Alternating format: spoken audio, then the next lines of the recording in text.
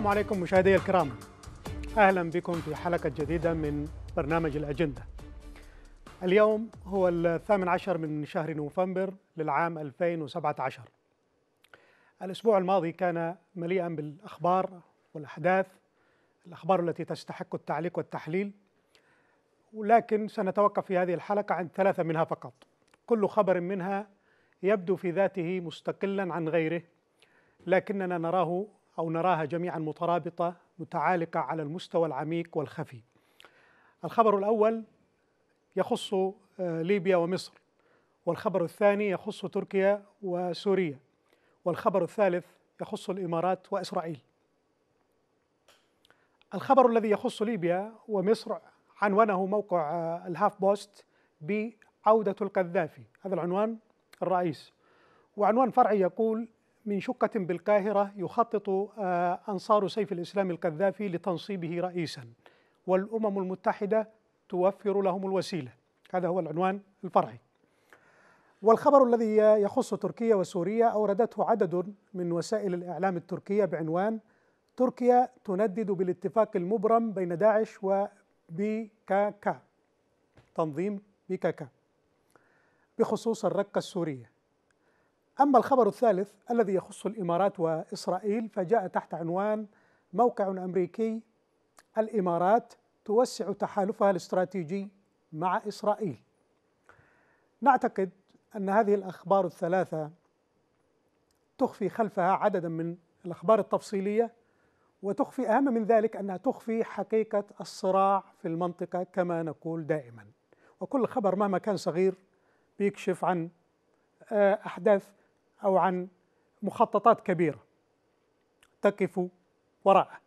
نحن بدورنا سنقف بالتحليل والتعليق عند هذه الأخبار لندلل على صحة مقولتنا التفسيرية للمشهد. كونوا معنا.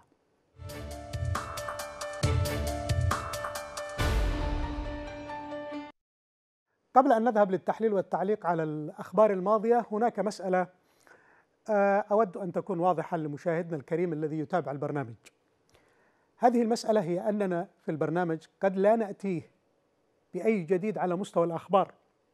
فالأخبار موجودة على قارعة الطريق كما قالوا الجاحظ من قبل موجودة في كل وسائل الإعلام ويستطيع الوصول إليها بيسر وسهولة.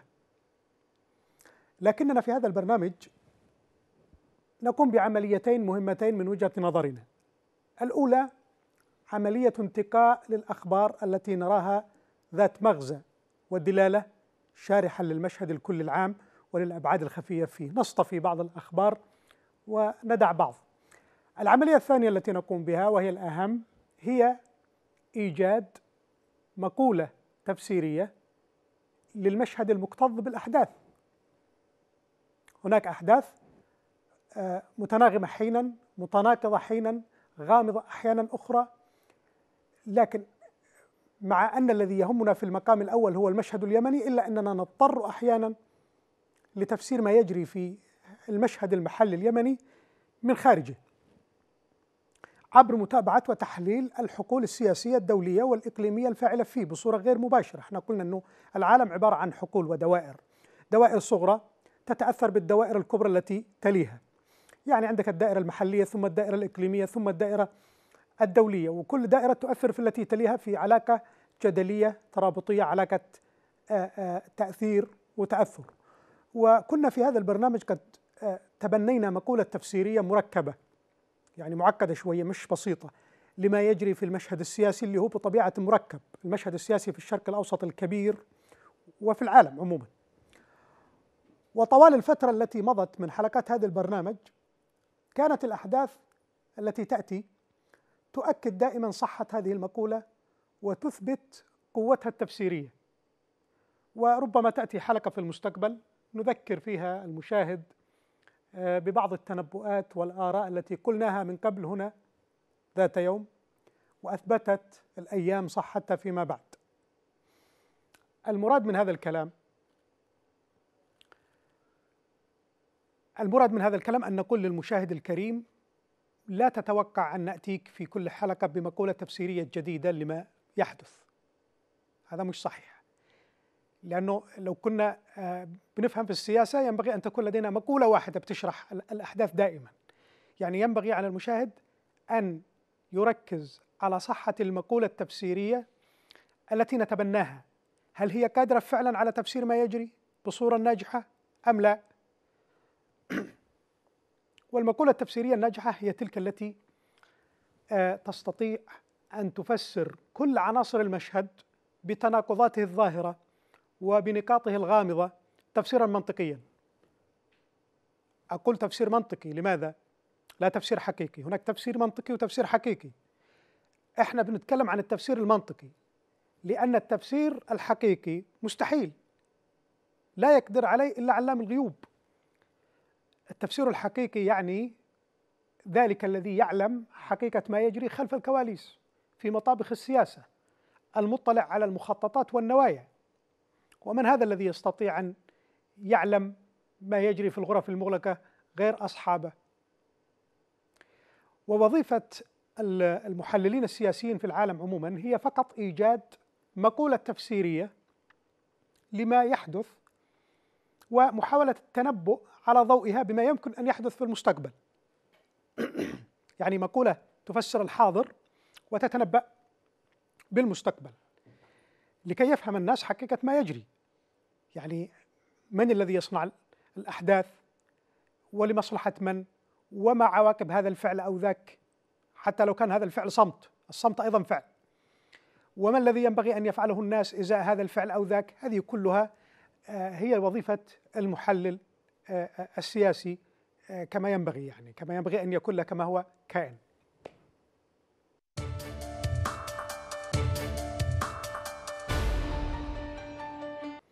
من المناسب أن نذكر متابعينا بالمقولة التفسيرية التي تبنيناها في هذا البرنامج لتفسير ما يجري ما جرى وما يجري في الشرق الأوسط وفي العالم العربي. يعني حنقولها بشكل مختصر بصورة مختصرة. قلنا إن البداية القريبة لما يحدث الآن كانت في العام 2011 عندما تفجرت الثورات الشعبية في عدد من الدول العربية التي أصبحت تعرف بدول الربيع العربي. وقلنا إن هذه الثورات جاءت وفق القانون الطبيعي للثورة وليس بتخطيط أو توجيه مسبق من قبل أي جهة خارجية أو داخلية. هناك شعوب عانت كثيرا آه، من أنظمة الاستبداد والفساد الحاكمة في بلدانها. هذه الشعوب فيها شريحة واسعة من الشباب الذي انسدت أمام أبواب المستقبل. آه، شريحة من الشباب راكمت وعي سياسي وحضاري جيد عبر وسائل الاتصال والإعلام الحديثة. هذه الشعوب وتلك الشريحة قررتا أن ترفعا صوتها صوتهما عاليا وأن تواجه أنظمة الفساد والاستبداد مهما كانت الخسارة المتوقعة. بفعل تلقائي. وبالفعل بدأت الأنظمة القمعية البائسة تتهاوى وتتساقط تحت أقدام الثوار الذين بذلوا تضحيات كبيرة وكادت الشعوب تجني ثمرة تضحياتها في شكل أنظمة ديمقراطية جاءت عن طريق صناديق الانتخاب الحقيقي لأول مرة. لأول مرة عندنا رئيس جمهورية يفوز في الانتخابات ب 50 آه، آه، بفارق واحد إلى اثنين آه، في المية يعني. لولا أن يدا خفية امتدت من وراء الستار لإنقاذ الأنظمة الفاسدة المستبدة وإجهاض ثورات الربيع العربي. يد من خلال الموج مدت لغريق كما تقول أم كلثوم. هذه اليد باتت تعرف اليوم بالثورة المضادة للربيع العربي. في البداية ما كانش حد عارف من ما هي الثورة المضادة ومن وراءها لكن رويدا رويدا تكشفت الأوراق وعرف الناس هذه اليد التي امتدت وعرفت مقاصدها وأهدافها. طبعا في البداية ظهرت وكأنها يد عربية خليجية ثرية هذا في البداية. الإمارات السعودية ظهرت في الواجهة. لكن مع الوقت تبين للناس أن اليد العربية ما هي إلا قفاز جوانتي. ليد أجنبية سماها الرئيس آه، المنصف المرزوقي سماها غرفة العمليات الدولية. قال هناك غرفة عمليات دولية اشتغلت أكبر من الإمارات والسعودية. غرفة العمليات الدولية هذه هي عبارة عن مجموعة الدول الكبرى والصغرى التي وجدت أن ثورات الربيع العربي ستغير شكل المنطقة والعالم. وهذا كلام خطير. تغيير شكل المنطقة معنى تغيير قواعد اللعبة والمصالح وستغير المعادلات السياسية والاقتصادية الراسخة فيه. فقررت غرفة العمليات الدولية هذه إجهاض ثورات الربيع العربي بأساليب ذكية وخفية ومدروسة لكن الأمر لم ينتهي عند هذا الحد.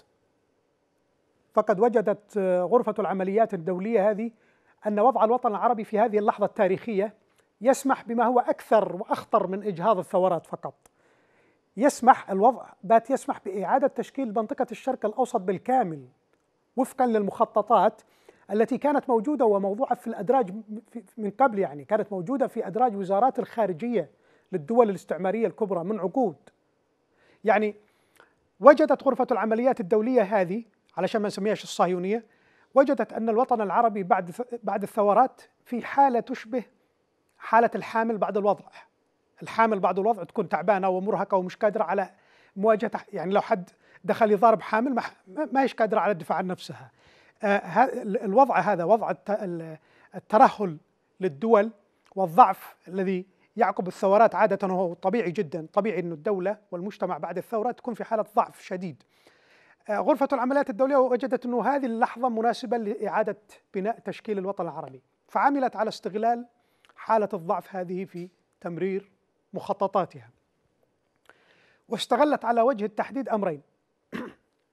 استغلت شهوة الأنظمة المستبدة في البقاء على ظهر السلطة واستغلت طموحات إيران في التوسع. فماذا فعلت؟ اتخذت هذه الدول سياسة تكتيكية على ثلاثة محاور. المحور الأول دعمت فيه خفية طبعا الأنظمة الاستبدادية. نظام العسكر في مصر نظام نظام العسكر في في اليمن ونظام البوليسي في سوريا وهكذا. دعمت هذه الأنظمة وساعدتها على إجهاض الثورة والتحول الديمقراطي. هذا محور أول. المحور الثاني تركت فيه إيران تسرح وتمرح في المنطقة للمساهمة في إجهاض الربيع العربي من ناحية ولتخويف الأنظمة الخليجية بهدف ابتزازها من ناحية ثانية يعني أمريكا والصهيونية عموما يعني غرفة الصهيونية لأنه لما نقول الصهيونية يعني أمريكا وإسرائيل وأحيانا بريطانيا الإدارات الإدارات السياسية. آه تركت إيران تسرح وتمرح في المنطقة علشان تضغط من ناحية على الدول الخليج بهدف ابتزازها وعلشان أيضا تساعدهم في إجهاض الثورات العربية. المحور الثالث اللي اشتغلت عليها هذه الغرفة ابتزت فيه بالفعل الأنظمة الخليجية المرتعشة اللي كانت خايفة من إيران وتمددها. وورطت هذه الدول الخليجية في أعمال إجرامية ضد الشعوب التواقة للحرية والعدالة والتنمية. في مصر في اليمن في سوريا في ليبيا في غيرها.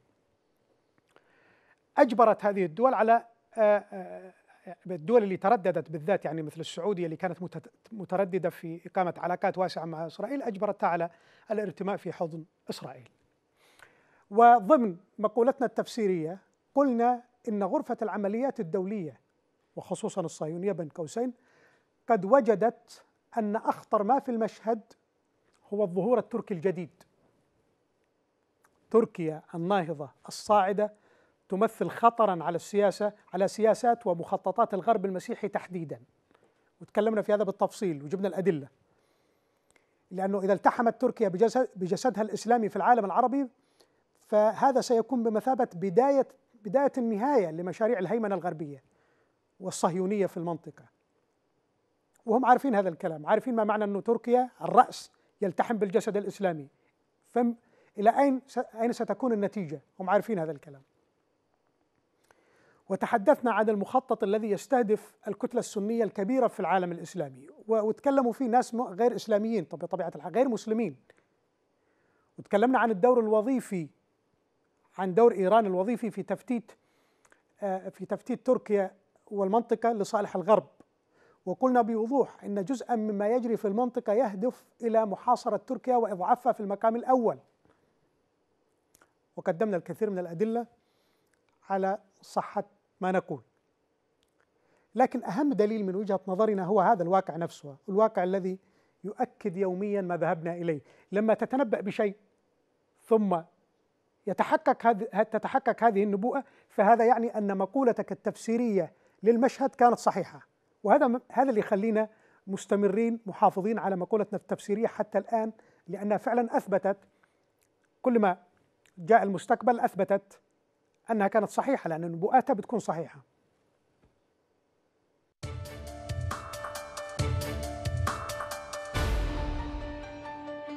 سواء سميناها مؤامرة أو سميناها مخططات المهم أن هناك قوى دولية تعمل بذكاء ولؤم أيضا على إضعاف شعوب المنطقة وإبقائها في سجن العسكر والمستبدين. يضعفون قواها ويهدرون طاقاتها وثرواتها ويؤمنون حدود إسرائيل والمصالح الغربية في المنطقة. هذه هي الوظائف الأساسية للعسكر في المنطقة العربية.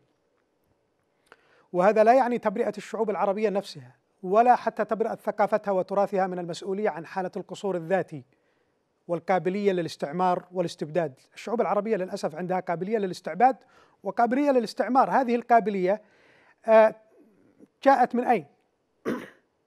جاءت من مصادر الثقافة والتربية والتنشئة مصادر الفكر.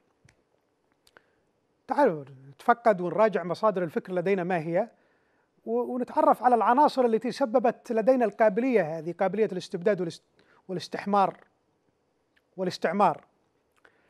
إحنا لا نقول أنه الثقافة والفكر غير مسؤول عما نحن فيه. وأن المؤسسة الدينية مثلا غير مسؤولة. لا كلهم مسؤولين. لكن نقول إن هذه القوى الأجنبية ووكلائها المحليين من العسكر والمستبدين يجهضون كل محاولة للنهوض والتصحيح في عالمنا العربي. إحنا عندنا قصور نعم. لكن كل ما حاولنا نتجاوز هذا القصور أجهضوا.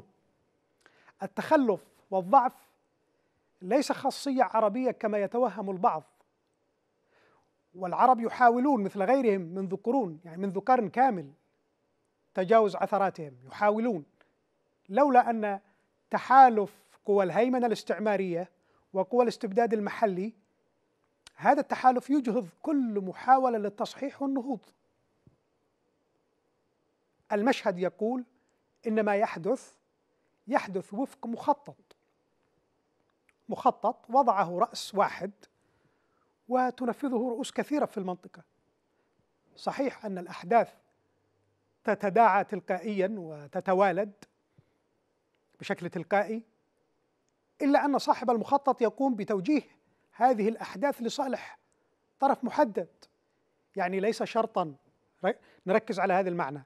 ليس شرطا أن أمريكا وإسرائيل يصنعون الأحداث لكن بالتأكيد هم يوجهونها توجيها معينا يستفيدون منه ولديهم قدرة على التوجيه. والمخطط المخطط أو المؤامرة مثل مثل اللحن الموسيقي.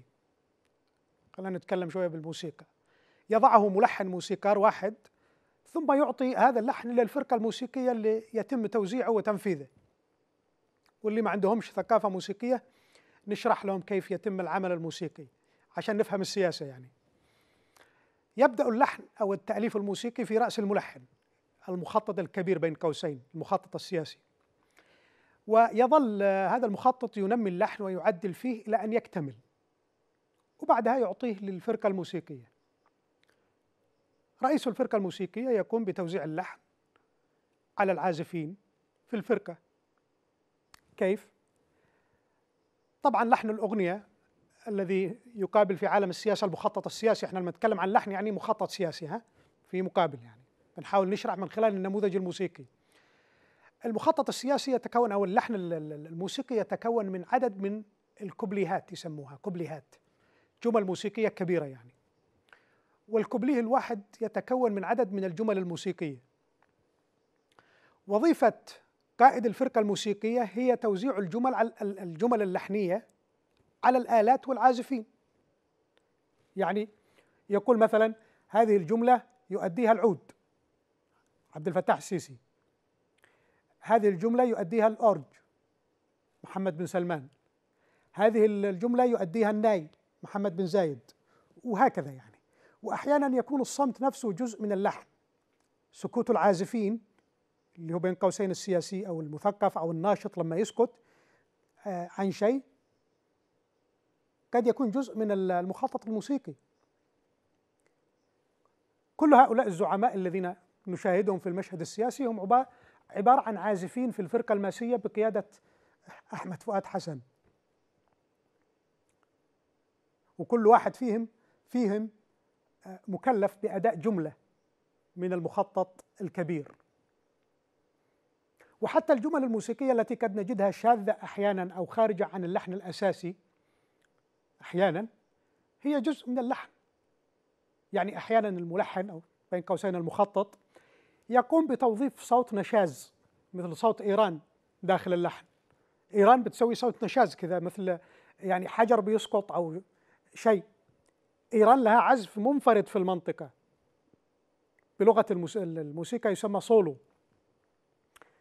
إذا سمعت هذا العزف المنفرد تقول في نفسك هذا العازف يعمل خارج المخطط اللحني. إيران يبدو أن لها سياسة مختلفة وماشية معها أجندة خاصة وهذا صحيح. لكن إذا تأملت جيدا وأصغيت للحن بالكامل تكتشف أن الملحن العبقري الأمريكي ولا الصهيوني قد ترك إيران تعزف على راحتها كما تريد. وبدلا من إجبارها على مسايرة اللحن الأصلي الذي وضعه بدلا من هذا قام بتوظيف عزفها النشاز ضمن اللحن الكبير.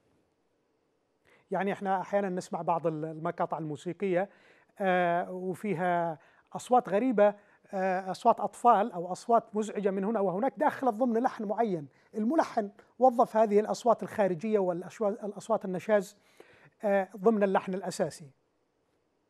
هو لم يضعها من البداية لكنه وضعها في النهاية وجهها في النهاية. والمخططات السياسية في الغرب مثل العمل الموسيقي. مثل الموسيقى الغربية تماما. يعني وين لما تسمع موسيقى غربية تلاحظ وجود أصوات متنافرة داخل العمل الموسيقي. تجد مثلا اللحن الأساسي ماشي في اتجاه وبجانب أصوات مختلفة عنه وكلهم بيشكلوا في النهاية عمل واحد. وهكذا المخططات الغربية. المخططات الغربية لا تشترط على جميع العازفين أن يؤدوا نفس الأداء بل تقوم بتوظيف الأصوات المنفردة ضمن العمل الكامل. حتى اللي مش راضي يدخل معنا في اللحن هندخل الصوت النشاز حقه بطريقتنا الخاصة. نوظفه لصالحنا بطريقه بطريقتنا الخاصة. تعالوا نستمع إلى شهادة واحد من فرقة حصب الله إذا صح التعبير الذين شاركوا في مخطط الانقلاب على الربيع العربي في مصر. الإعلامي المشهور توفيق عكاشة الذي اكتشف متاخرا كما يقول أنه حمار. يروي عكاشة في المقطع القادم كيف شاركت إسرائيل وأمريكا في إفشال الثورة المصرية وكيف ساهمت في تنصيب عبد الفتاح السيسي. تعالوا نستمع لدوره هو ولدور العسكر في الموضوع. بعد ما الإخوان اتشالوا وجه الرئيس عبد الفتاح السيسي رئيس لمصر بالانتخاب. فحصل اجتماع تم دعوتي إليه. من الدولة. تعال يا أخ توفيق رحت إحنا عايزين نشوف خطة علشان نضرب الحصار الإعلامي والسياسي اللي محطوط علينا. قلت لهم ماشي أنا هقول لكم باب بسيطة جدا. كلموا إسرائيل. تكلم أمريكا عشان تغير موقفها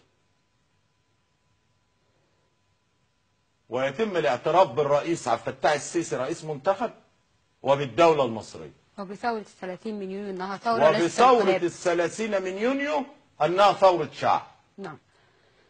وبالفعل تم الاتصال بإسرائيل وطلبوا منها هذه الطلبات. وإسرائيل تدخلت وسافر بنيامين نتنياهو إلى واشنطن والتقى بالرئيس أوباما وهم على خلاف مع بعض. وقال له الوضع كذا كذا دي ثورة شعب. رئيس عبد الفتاح السيسي راجل كويس جاء بالانتخاب. إحنا مراقبين ومتابعين الموقف كويس. الإخوان فشلوا. فما تتمسكش بالفاشل ولابد أن تلتقي بالرئيس عبد الفتاح السيسي. قال له حاضر هلتقي بالرئيس عبد الفتاح السيسي أثناء اجتماعات الأمم المتحدة. الذي رتب لقاء الرئيس عبد الفتاح السيسي مع الرئيس أوباما على هامش اجتماعات الأمم المتحدة هو بنيامين نتنياهو. وأنا بقول معلومات ومعي الوثائق اللي بتأكد طبعا توفيق عكاشة يتحدث من الزاوية التي يعرفها ويظن أن إسرائيل وأمريكا كانت منتظرة يتصل بها السيسي ليقوم بدوره في إيجاد التجربة التجربة الديمقراطية المصرية. توفيق عكاشة لا يعلم أن كل شيء كان مترتب وجاهز في الغرف المغلقة وأن الملحن كان وقتها يضع اللمسات الأخيرة على المخطط. كان هذا واضح. أمريكا في فترة الثورة المصرية والثورات العربية آنذاك كانت واقعة في حيص بيص في الظاهر. لكن في الغرف المغلقة كان المخطط جالس يرتب أوراقه ويشوف كيف حيتعامل مع المشهد ويستوعبه. عموما سنذهب لفصل قصير ثم نعود لاستكمال حديثنا. ابقوا معنا.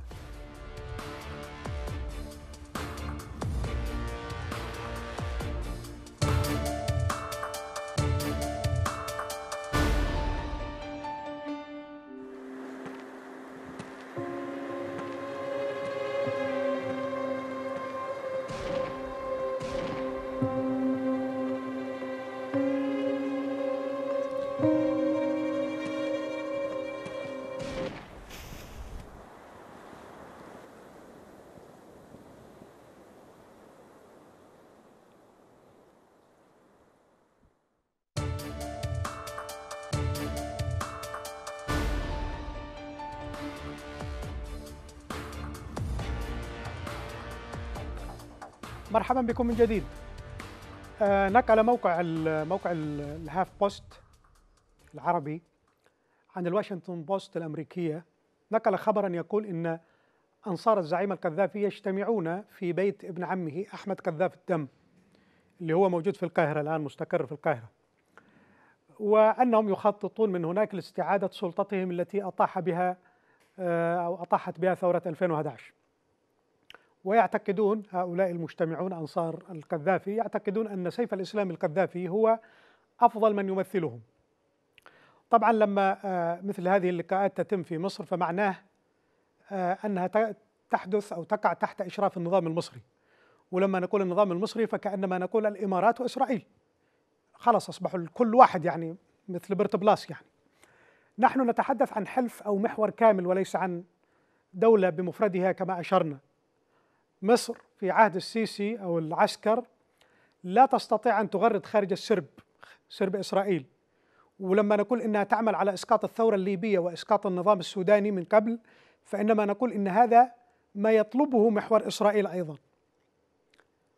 على نفس السياق خرجت صحيفة نيويورك تايمز الأمريكية بخبر يقول إن حبيب العدلي حبيب العدلي وزير الداخلية المصري في عهد حسني مبارك المحكوم بقضايا فساد وقتل متظاهرين واللي كان المفروض يعني يعني المفروض إنه كان في السجن يعني. قالت أنه حاليا الآن يعمل مستشارا لولي العهد السعودي محمد بن سلمان. بعد أن كانت وسائل الإعلام المصرية قد نشرت قبل فترة خبر اختفائه هروبا من السجن. وتقول الإشاعات إنه الآن يشرف على التحقيق مع الأمراء والمسؤولين السعوديين الذين اعتقلهم محمد بن سلمان. الراجل ده محظوظ يعني. من السجن من الوزارة للسجن ومن السجن للإمارة.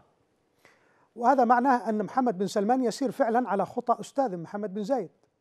فهذا الأخير كان يستقطب عادة يعني كانت سياسته هكذا استقطاب المجرمين الكبار ويعيد توظيفهم لصالحه.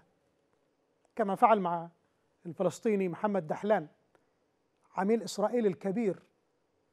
الذي يقف وراء اغتيال ياسر عرفات. لاحظوا كيف أن الخيوط تتجمع من هنا وهناك لتشكل لوحة واحدة واضحة. هذا ما نلاحظ نحن بمجرد المتابعة العادية للمشهد. أما ما تتابعه وكالات الأنباء ومراكز الدراسات والاستخبارات فهو أكبر وأخطر.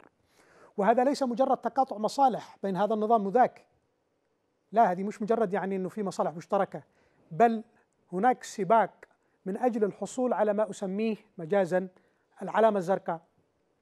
تعرفون في تويتر الذي يحصل على العلامة الزرقاء يصبح حساب موثق وآمن من مخاطر الاختراق وغيره. هذه العلامة الزرقاء يمنحها تويتر نفسه للعميل المحدد يعني بشروط معينة. كذلك بعض الأنظمة السياسية العميلة تبحث عن هذه العلامة الزرقاء لكن في مجال السياسة. يعني تسعى هذه الأنظمة بكل جهدها لإقناع أمريكا بأنها أفضل عميل ممكن يحمي المصالح الأمريكية في المنطقة. وجميع عملاء المنطقة يعتقدون أن الوصول إلى كلب أمريكا يأتي عبر إسرائيل. يقولوا إذا اراد إذا أرادت المرأة أن تصل لكلب زوجها تدخل من معدته يعني عبر معدته ممكن تمر. في في السياسة اللي يروح اللي عايز كلب أمريكا يمر عبر إسرائيل. لأنهم يعرفون ذلك فإنهم جميعا يهرولون لإرضاء إسرائيل كي ترضى أمريكا.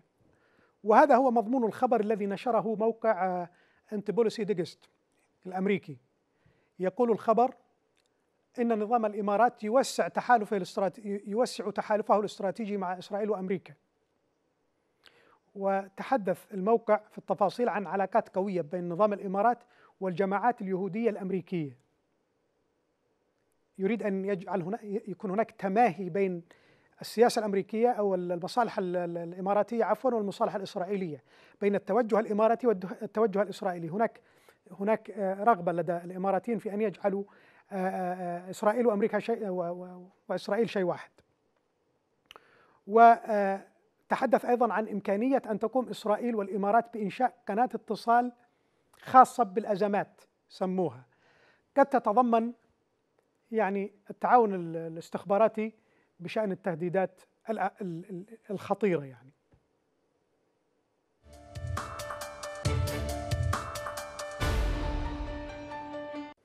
نظام الإمارات وهو يسعى جاهدا للحصول على العلامة الزرقاء كما قلنا التي لم يحصل عليها في المنطقة سوى إسرائيل هذا النظام لا يفعل ذلك لأنه خائف من إيران كما يقول وإنما يفعل ذلك لأن لديه أجندة أخرى أكثر مما نتصور. محمد بن زايد لديه طموحات في قيادة المنطقة كما قلنا من قبل. يريد أن يبتلع السعودية ويخلفها. السعودية تحديدا وبقية الخليج سيأتي تباعا. ويعتقد أن المال مع بعض العلاقات الخاصة الخاصة جدا جدا سيحققان له ما يريد. علاقات خاصة مع دول وعصابات ومنظمات سرية وغير سرية يعتقد أن هذا ولإقناع هذه الجهات الداعمة فتح الإمارات لكل ما هو غير شرعي وغير قانوني غسيل أموال تجارة رقيق ومخدرات كل أنواع الإجرام الدولي على المستوى العصابات والمافيات الدولية يتم في الإمارات الآن.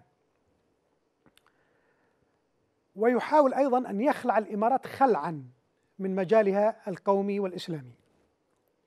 وهذا أحد أسرار موقفه الهستيري من ثورات الربيع العربي. ومحمد بن زايد لا يخشى إيران وحدها.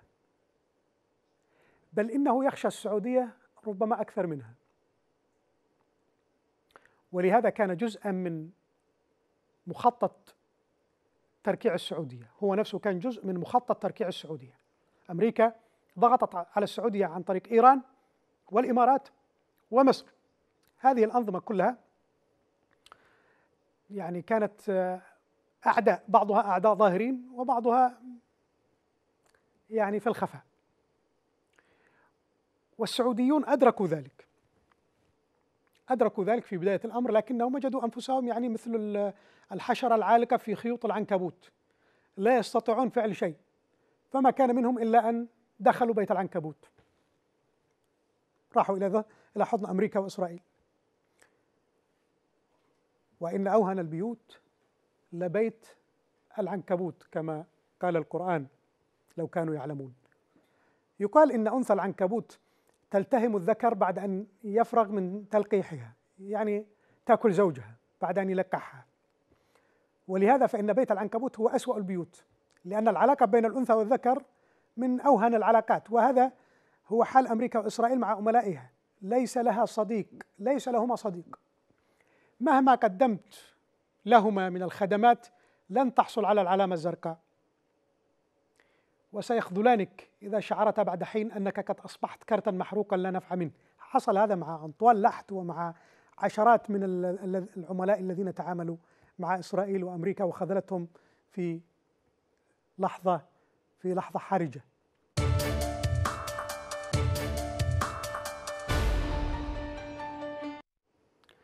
في مقابل هذا السباق المحموم على إرضاء إسرائيل وأمريكا من حلف الثورة المضادة للربيع العربي هناك مشهد آخر مختلف ونقيض. هو مشهد العلاقة بين محور أمريكا وإسرائيل من ناحية من جهة ومحور تركيا وقطر من جهة أخرى. فعلى الرغم من أن تركيا دولة ديمقراطية وعلى الرغم من أن قطر دولة داعمة لثورات الربيع العربي التي جعلت الديمقراطية هدفها الأعظم على الرغم من ذلك إلا أن العلاقة بين الطرفين ليست على ما يرام. نقصد بين إسرائيل وأمريكا من ناحية وبين قطر وت- وتركيا من ناحية ثانية. وبإمكان خبرين فقط من أخبار الأسبوع الماضي أن يكشفا عن الحقيقة. الخبر الأول الذي نشرته عدد من المواقع التركية الرسمية يقول إن تركيا تندد بالاتفاق الذي جرى في مدينة الرقة السورية بين تنظيم آه، بيكاكا الكردي المدعوم من أمريكا وإسرائيل وتنظيم داعش. والتنظيمين عند في تركيا يعني من وجهة نظر تركيا إرهابيين. وهو الاتفاق الذي قضى بخروج مسلحي داعش من المدينة بسلاحهم وتسليم المدينة لبي كاكا تنظيم الكردي. مما يدل على وجود إيش؟ وجود تنسيق من نوع ما بين هذه التنظيمات الإرهابية التي تهدد الأمن القومي التركي. لما يكون البي كاكا من منظور تركيا تنظيم إرهابي يهدد الأمن القومي ويكون مدعوم من أمريكا هذا يكون أمر مريب. تنظيم داعش خرج بسلاحه امنا مطمئنا تحت رعاية طيران التحالف الأمريكي لمحاربة داعش. هذا هذه هي المفارقة. تماما كما يفعل الانقلابيون في اليمن أحيانا. يسرحوا ويمرحوا بجيوشهم قدام الطائرات التحالف. وفي الليل تذهب طائرات التحالف لضرب أسرة مسكينة في أحد المنازل. وما زالت تركيا بين فترة وأخرى تشتكي من السياسة الأمريكية التي تهدد بتقسيم المنطقة واعاده هيكلتها بما يضر مصالح تركيا والعرب السنة. وما التقارب التقارب الروسي التركي أو التقارب التركي الروسي بالأصح وصفقة صواريخ إس 400 التي اشترتها تركيا من روسيا هذه الصفقة ما هي إلا علامة على توتر العلاقات بين تركيا من ناحية وبين منظومة أمريكا من الناحيه الثانية معها حلف الناتو يعني. وليست تركيا وحدها هي التي آه، تستهدف من قبل هذه المنظومة بطرق ماكرة. حتى قطر دخلت دائرة الاستهداف من فترة. بدأ الاستهداف بالحصار وانتهى الآن يعني باليومين الماضيين آه، كان آخر مظهر من مظاهر هذا الاستهداف التنسيق بين محور مصر والإمارات والسعودية ضد قطر. يعني أقصد أنا آخر مظهر من مظاهر هذا التنسيق صدور قانون أمريكي يعاقب الدول الداعمة لحماس. طبعا يقصد بها قطر وتركيا ما فيش أحد داعم لحماس غير قطر وتركيا. بعد أن كانوا بيتكلموا عن آه، قانون جاست اللي آه، آه، الداعم للإرهاب اللي ضغطوا فيه على السعودية والإمارات. لما يحسوا أنه في واحد نشاز يضغطوا عليه بقانون. في البداية قانون جاستا والآن قانون دعم حماس. هكذا تلعب أمريكا بالعالم وتسير المنطقة العربية وتوجه الأنظمة إلى حيث تريد. نحن إذا أمام محاور واضحة تتصارع. كل واحد فيها أخذ مكانه مكانه اللائق به في الصف. وبعض الذي مضى من الأحداث هو مجرد ترتيب صفوف لمواجهة قادمة. ربما تكون أشد وأنكى. أسباب الواجهة القادمة متوفرة الآن.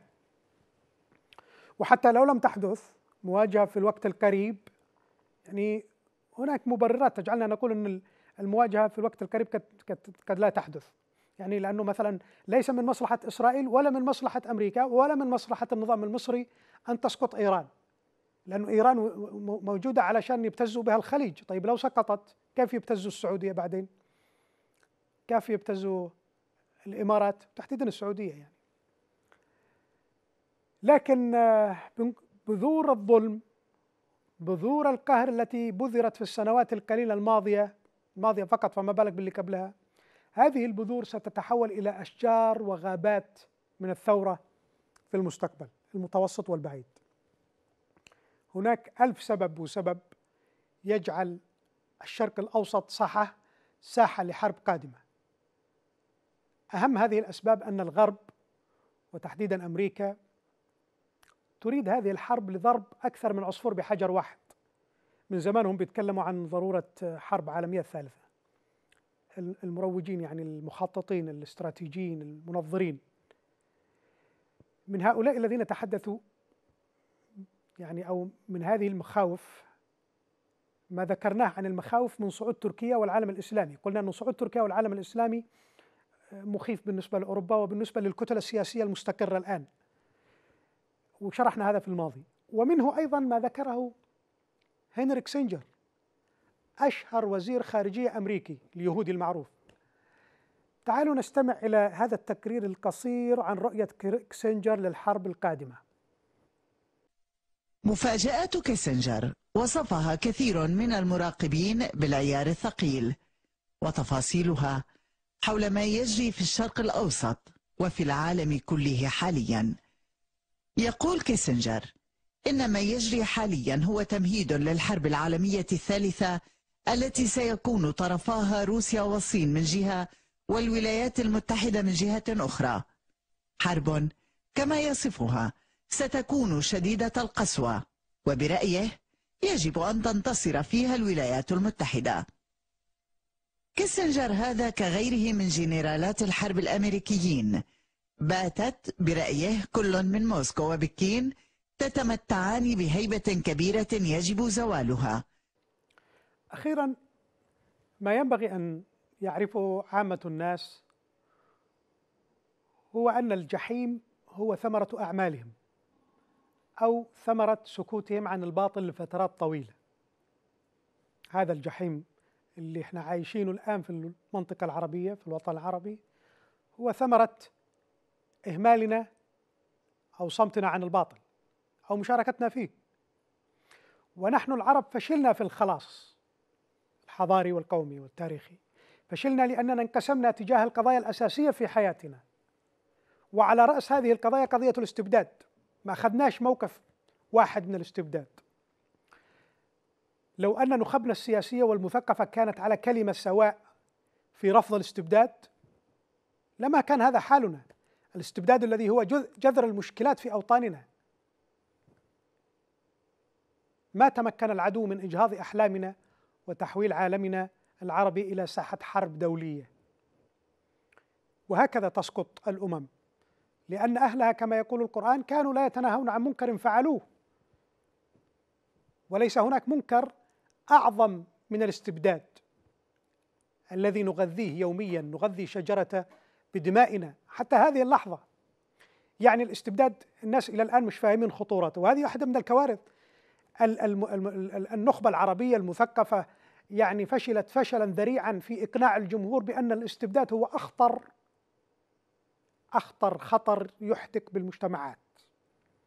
العربي لا يعرف ما هي خطورة الاستبداد عليه تماما. لا يعرف. لا يعرف إلى أي مدى سيجعل حياة الجحيم والمنظرين اللي اللي تكلموا عن الاستبداد يعني آه، آه، بإخلاص وبصدق أقلية قليلة يعني أذكر على سبيل المثال المفكر الإسلامي خالد محمد خالد وأذكر كمان آه، جمال حمدان في المجلد الرابع من شخصيات مصر يعني هذان أكدا على خطورة الاستبداد في تقويض الدول تأكيد كبير جدا. إحنا أحزابنا السياسية للأسف الشديد قصرت تقصير كبير الأحزاب السياسية المعارضة الذي كانت المفروض أنها بتسعى لتغيير السلطة وتغيير ال- ال- ال- الأنظمة المستبدة الفاسدة. لكن للأسف ما قدرت تقنع الجمهور انشغلت بقضايا هامشية أخرى. واليوم إلى اليوم ما زال الجمهور العربي يؤيد الأنظمة المستبدة ويؤيد العسكر لأنه لا يعرف بالضبط ما هي مخاطر الاستبداد على حياته وعلى مستقبله ومستقبل ذريته. أعتقد إلى هنا انتهت حلقة اليوم. نلقاكم في الأسبوع القادم في أمان الله.